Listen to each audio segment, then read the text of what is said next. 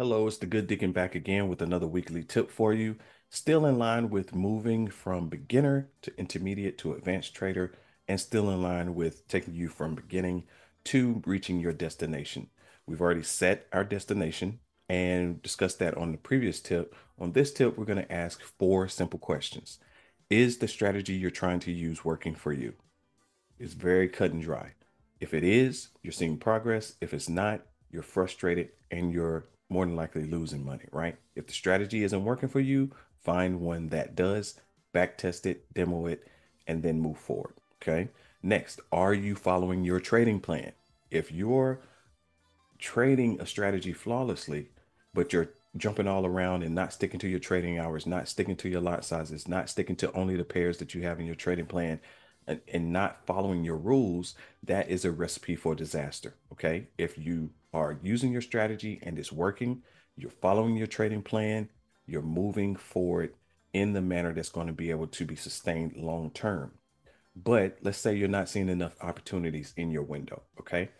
Then you have to adjust. Do I need to adjust my trading trading window, my trading plan window? Right. If you're an Asian maybe stay up later and trade London, right? If you're in London, maybe um, sleep later and trade New York, right? If you're trading New York, maybe get up earlier and trade London or just trade at the end of your natural calendar day, which is the beginning of the trading day during Asian session, right?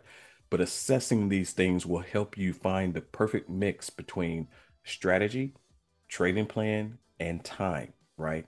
Because op- certain opportunities are more plentiful during certain times. Okay. So learn those times, back test those times, continue to follow your strategy and your trading plan accordingly, and you will see increased results. Okay.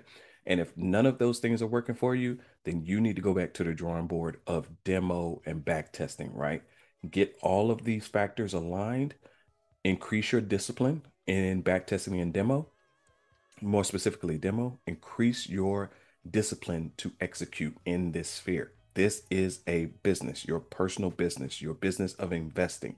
So you have to maintain your discipline and you have to make sure you are self assessing at particular intervals during your journey. This is the Good Deacon with your next weekly tip. Have a blessed day, and I will see you in the next video.